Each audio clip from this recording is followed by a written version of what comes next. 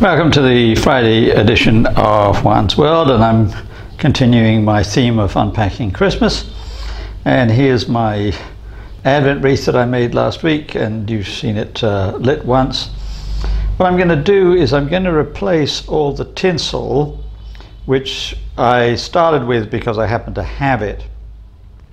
But I'm not going to continue with it because three years ago, this Advent wreath was burning away merrily, or rather, the candles were burning away merrily, and then the hot wax dripped on the tinsel, and it all caught fire. That was because I wasn't paying attention.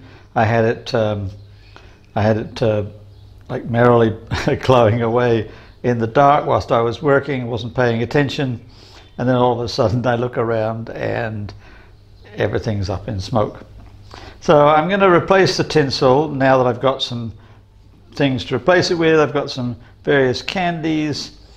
I'm going to place them in there instead of the tinsel and they won't burn. So my theme today is decorating in general, but I really want to talk about nativity sets in particular. So let's get started down that path.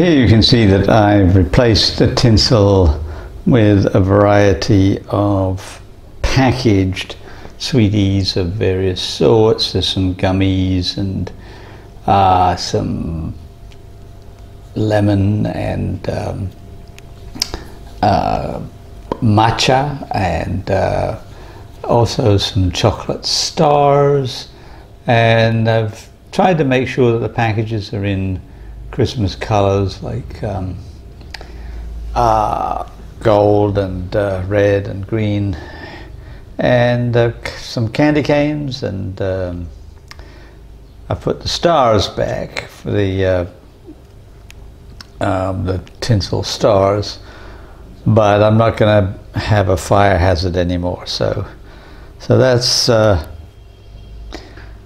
that's my Advent wreath. Now let's talk about um, uh, nativity sets. I used to have one, and in fact, I used to have two, um, but my main one was one that uh, I'd had for uh, 20, 25 years in New York, and um, basically consisted of a, um, a baby Jesus and um, Mary and Joseph and some shepherds and some wise men and uh, some animals and an angel. And I didn't have uh, anything for them to go into. I used to each year make some sort of structure out of gingerbread. And I'll talk about gingerbread um, constructions in another video. I'm not sure I'm going to make any gingerbread this year. Uh, it's a lot of work to make a gingerbread house or a gingerbread castle, which I've done, and so forth. Uh, but I used to make a, a, sort of gingerbread shed, and I'd put the angel on the. I make a roof and put the angel on the roof, and um, and then inside was um, a manger and it was empty and I had um, some a few animals. Um, most of them came with the set, the original set, but I had others. I had a little cat that I, I had I put in there and um, so forth. And and the main thing about it was that I constructed the, the shed and had the manger and the animals in there right at the very beginning of Advent. Nothing else. No, no, no individuals. No, no, no angels. Nothing. Now, if you go around, uh, not just uh, the the Christian world, but you go around the world, you'll find you'll find nativities of all kinds in all places. This one um, I found at a big cathedral in. Um, Hanoi in Vietnam at Christmas time, uh, life size, um, and uh, all all um, anachronistic, uh, you know, because everything's in place um, at the same time, um, and it's not even Christmas Day, and the and Jesus has already been born, and um, the angel's already there, and and so forth, and that's uh, that's fairly typical of nativities, and it just it doesn't it doesn't have that feeling of unpacking that I'm talking about in this in this series. That Advent is expectation, is waiting for things to happen. Now, from my video from uh, Tuesday, you'll remember that I spoke about the Nativity as being a, a strange concoction of Luke's story, which is all about the shepherds and the birth itself, and Matthew's story, which doesn't talk about the birth at all, but speaks about the journey of the Magi and their visit to Jerusalem and then they go to a house in Bethlehem. So that you can't really imagine that Mary gave birth and placed Jesus in a manger, and then he stayed there pretty much um, for several weeks until the Magi finally arrived, and then they hightailed it off to Egypt. I mean, it makes no sense. In fact, we don't even really get any full story about the birth itself. We just get the idea that Mary and Joseph had to journey to Bethlehem for the reasons that, as I mentioned last time, are nonsensical. But anyway, they, they're strangers in the town and she gives birth. Where did she give birth? Did she give birth in a cattle shed?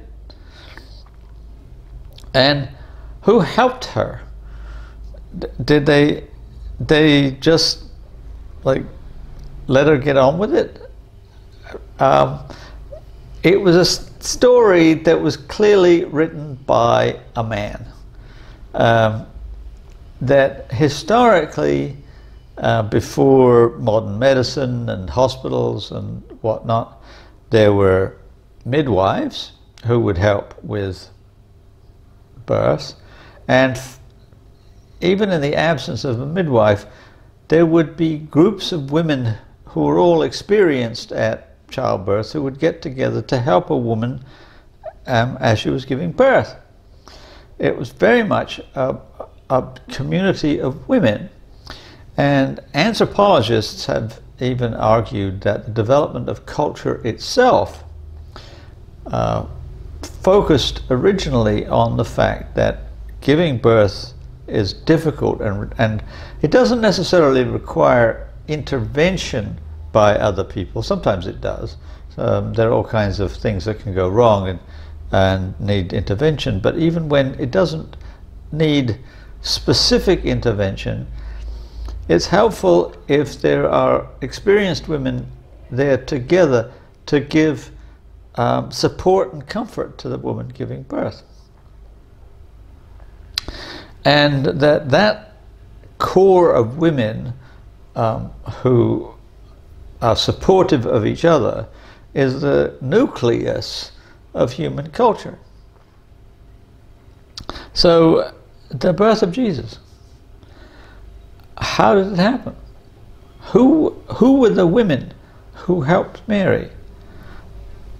Where did it happen? Did it actually happen in a cattle barn? I, you know, I suppose it would be okay. I mean, to lie on straw. Uh, after all, um, for hundreds and hundreds and hundreds of years, shepherds have slept in barns on straw. So there's nothing to stop a woman giving birth in in a bed of straw and then and then having given birth and and all that, wrapping the baby up and and having no crib, laying it in a manger. That's all, you know, potentially understandable. If if you, but who who in a strange town was there to help Mary when she gave birth? Luke doesn't mention it because he's a man. He doesn't he doesn't know about these things. He doesn't care. And you've got to you've got to imagine that after that first night that they found somewhere a little bit more comfortable to stay um, until until they had to go back home. So maybe they eventually found somebody would take them in. Somebody would say, "Oh my goodness, this is terrible. She's just given birth and her baby's lying in a manger. We've got to, we've got to take her into my, our house." So, what you have to do if you're if you're decorating with a nativity set is you've got to think about the logistics of the situation. So right now, it's just whatever, a cattle shed. Cows are eating, being milked. Um, you've got a manger, you've got animals. You can put whatever animals you want in, the, but no people. Um, there's no mention of um, of who owned the cattle shed and or what they were doing there. So you don't you don't put anyone like that in there. You just it's just empty, um, and it remains empty until Christmas Eve. And then on Christmas Eve, you can. I mean, you can't really place Mary in there um, because she's not pregnant. But you know, okay, so we'll, we'll sort of wink and nod about that and say, all right, let's just, we'll just put Mary and Joseph in the cattle shed and just imagine that somehow or other she gives birth. And then later, you can add the various other components. You can add the shepherds and an angel and then after Christmas Day, take them away. Now, strictly speaking, you should also take away Mary and Joseph and the baby and put them somewhere else. But let's just imagine that you, like, you keep them there um, symbolically. But somewhere a long, long, long way away, you know, all the way across the room, um, you've got the Magi, and day by day by day, you bring them closer and closer. And they're going to arrive on Epiphany. That's January 6th. That's the very, very tail end of the Christmas season. So just slowly moving towards Bethlehem and then finally arriving on the last day, the day that you're going to take your decorations down and move into the slightly uh, short period between um, Epiphany and um, Shrove Tuesday, Ash Wednesday, and into Lent. Uh, Christmas and Lent and Easter all flow together into one holy season. It's a, approximately six months long. and um, I'm going to so I'm going to keep talking about unpacking. Even when I get to Epiphany, I'm going to talk about how we're going to move from there into Lent and into Easter, and um, all the points along the way. So, what else am I going to do for decorating? Not much. Um, in the past, um, until I had a son, I very rarely had a Christmas tree. Um, I d- I didn't have a Christmas tree when I lived at my university because they they didn't allow um, trees in the dormitories, and I was living in an apartment in the dormitories, and they didn't allow it. So I had um, my gingerbread house was my main um, sort of decorative item. I did have a few lights, and um, I did have a Victorian uh, Christmas garland that I hung from the ceiling, um, uh, which I, I kept for many, many, many years. When I had a son, uh, he he really wanted a Christmas tree, so we we did that. But I'm not gonna I'm not gonna have a Christmas tree here. I have no I have no earthly reason to have a tree. I'm going to put up some lights at some point, although at the moment I have a great deal of difficulty thinking about where to put the lights. Um, they don't have electric codes in Cambodia like they do in the United States, where every so often uh, in every wall you have to have an electric outlet. Um, and I would like to put lights, like maybe somewhere in this region, you might see them uh, in a week or so uh, around the, um, the sofa where I'm sitting. But there's no electrical outlet here. There, there's the nearest one is all the way across the room to my right, and all the way across the room to my left. But the, the, the one to my left is closest, but but the door is in the way, and I don't want to have uh, the strand of lights uh, across the doorway uh, for, for safety reasons. So I'm going to have to figure that out. Also, my tables over in the that in that left direction are just chock a block with um, all kinds of goodies, um, including my uh, new food processor, which I'm going to be using shortly. I'm going to talk about making pastry and other things. That's my Christmas present to myself. I've got an extension cord, which I think I'll probably use, and I'll see what I could do to to fix up the lights. Don't know, but I'm not going to do it just yet because we're still early into the season.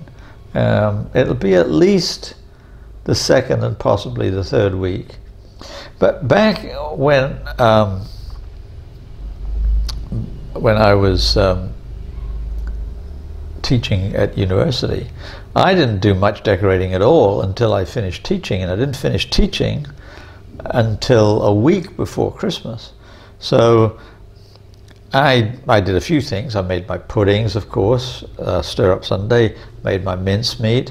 Um, I even um, made the like the outlines of a gingerbread house, but I didn't do much decorating until I was free of my other commitments. So I didn't get round to it until you know, about the third week in Advent. And that's about the same uh, now.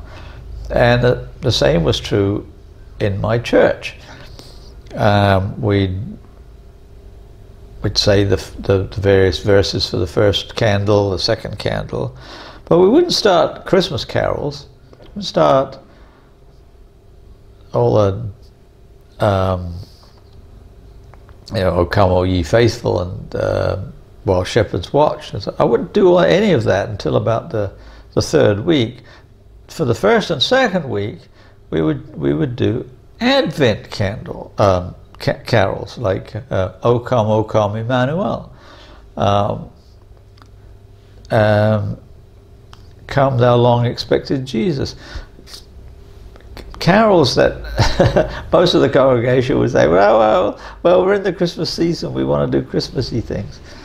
Well, you've got to you've got to do the expectation. The the Advent comes first, and you've got to enjoy that part, and and then you can go hog wild. Do it slowly, and then it can be more explosive towards the end.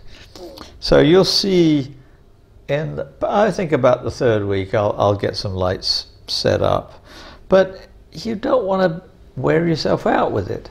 You, you don't want to feel like they've been up the lights and the tree and, and, and everything has been up for months, or certainly weeks. Um, and by Christmas Day you're tired of it, it should be new and fresh by Christmas Day. You should want to keep it up until Epiphany because it's only gone up on, let's say, the 20th of, of December.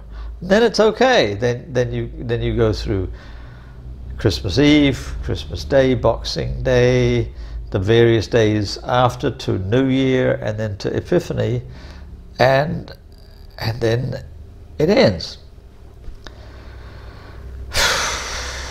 I'm probably not preaching to the choir, but I'd like to be. I'd like to think that some people will eventually follow my lead.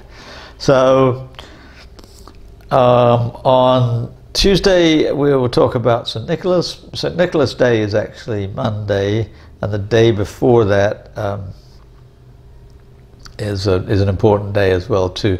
But i I'll get around to St. Nicholas on Tuesday, and meanwhile have a good weekend. Enjoy your, your Advent peacefully and calmly, and I'll see you on Tuesday.